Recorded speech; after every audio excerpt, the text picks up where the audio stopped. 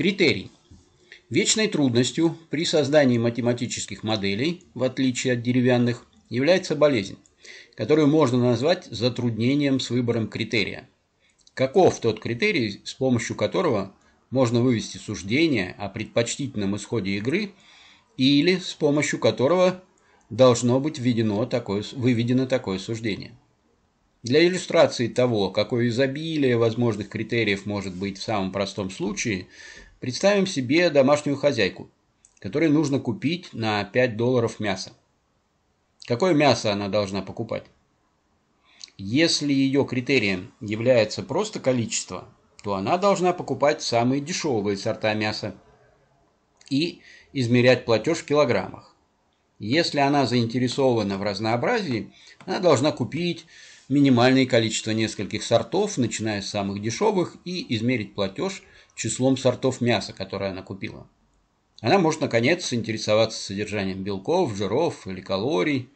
Она может попытаться удовлетворить различные прочие условия или выполнить некоторые ограничения, накладываемые вкусами, запретами и так далее. Ее могут интересовать минимальные усилия при приготовлении пищи, и в этом случае она может сказать «мне нужно на 5 долларов жареного мяса». Прошу доставить его, как только вы будете в наших краях. Вообще говоря, проблема критериев состоит из двух вопросов. Как измерять и как вести себя на основе этих измерений. Теория игр. Так, сейчас секунду.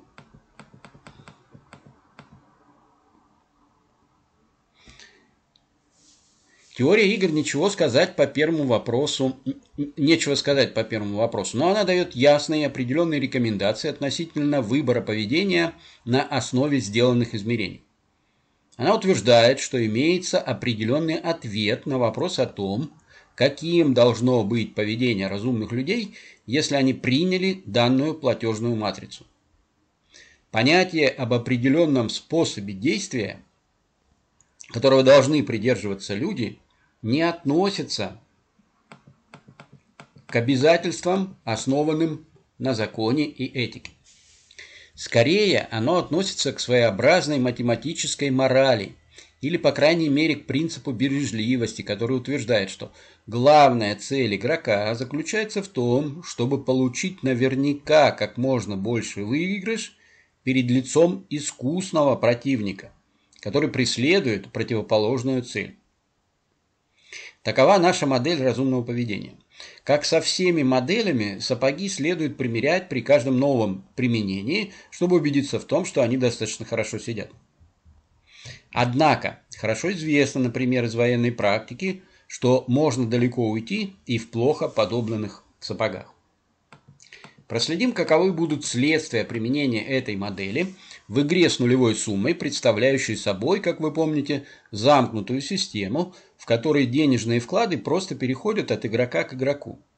Пожалуй, никто не обидится, кроме красных, если мы предположим на некоторое время для упрощения нашей, нашего изложения, что все платежи в матрице положительные. Это означает, что все возможные стратегии, допустим, до, доступные игрокам, будут влиять теперь только на то, сколько денег отдадут красные в конце игры синим. Это явно нечестно по отношению к красным, но мы заставим их пострадать ради общих интересов. Теперь, с точки зрения теории игр, синие хотят действовать так, чтобы наименьший выигрыш, который они могут получить, был как можно больше. Это удовлетворяет требованию надежности.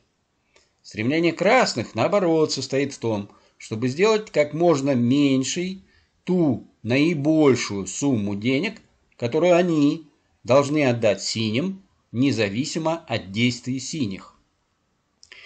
Такой философии, если игроки ее придерживаются, достаточно, чтобы определить их выбор стратегий.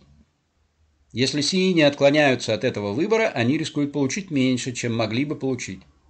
А если красные не придерживаются этого выбора – они могут заплатить больше, чем могли бы заплатить.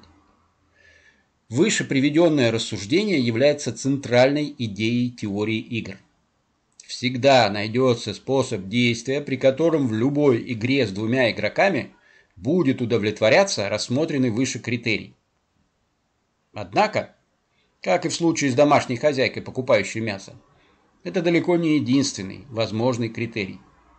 Вы можете придумать много других, приписывая, например, вашему противнику различную степень невежества и глупости.